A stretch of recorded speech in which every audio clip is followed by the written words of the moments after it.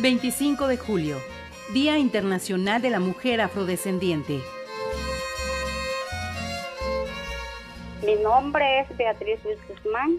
Vivo acá en la Costa Chica de Guerrero, o Guerrero para ser exacta. Soy mujer afrodescendiente.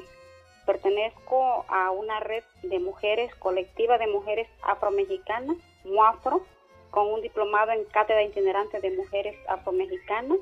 Yo cuando inicié en este caminar, en este andar, no me esperé lo que me iba a encontrar. Yo siempre fui una mujer que no me sentía de ninguna parte, no sabía yo las raíces del, del cual yo pertenecía, ¿no? Yo nada más me sentía parte de la sociedad y nada más este, vamos encontrando en el camino estas personas que están interesadas en la afrodescendencia, en ver que hay una tercera raíz pues en la sociedad, que son personas que nadie las toma en cuenta, que nadie se preocupa por ellas y el medio donde ellos viven son lugares muy diferentes a lo que uno vive, ¿no? Entonces yo me fui dando cuenta que yo era parte de esa gente. Me empecé a dar cuenta que por mi estereotipo de persona, por los gustos, por la alimentación, por el territorio, la gastronomía, por mis costumbres, por lo que yo sentía, ¿no? Porque hay algo que tú ya lo traes, que naces con esa emoción, con eso, a lo florido, a los colores fosforescentes, que son cosas muy particulares de las personas afromexicanas.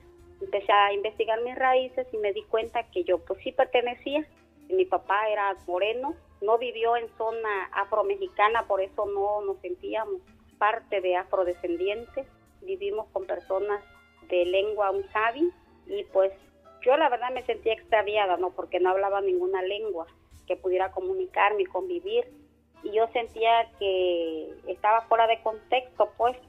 Y empecé a conocerme un poco más y me di cuenta que la tercera raíz sí existe. Aunque tú crezcas en, en un contexto, hay cosas dentro de ti que te piden que eres diferente, pues que no eres como los demás no tenemos historia que compartir con nuestros pequeños, con nuestros hijos. Somos morenos y somos negros, pero pues no tenemos historia que un libro diga, no, pues mira, este, así llegaron nuestros ancestros, nuestras ancestras, de esta manera este, vinieron acá, ¿no? Sí, no hay razas, no existen razas como se ha manejado históricamente, pero hay y existen construcciones sociales que nos marcan cómo nos vemos y cómo nos ven ellos de allá para acá nosotros. Radio 710, por la igualdad de género y la justicia social.